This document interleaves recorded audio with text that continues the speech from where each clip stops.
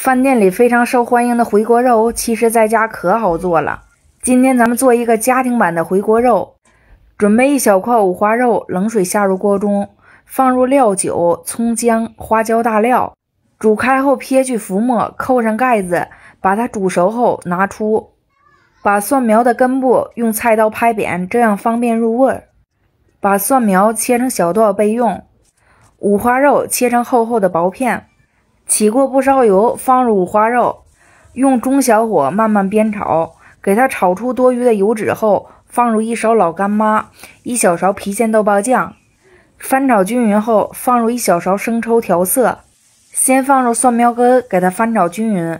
老铁们，如果您手机还有电呢，就给大雁点个小爱心呗，就是对着屏幕点两下。大雁在这里先谢谢您了。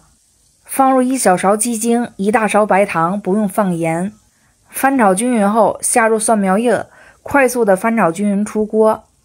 其实我每天教大家做菜呀，啥都不想要，就想让您点个双击，加个关注，要不然您划着划着就找不到我了。您就帮大雁点一个呗，千万别忘了。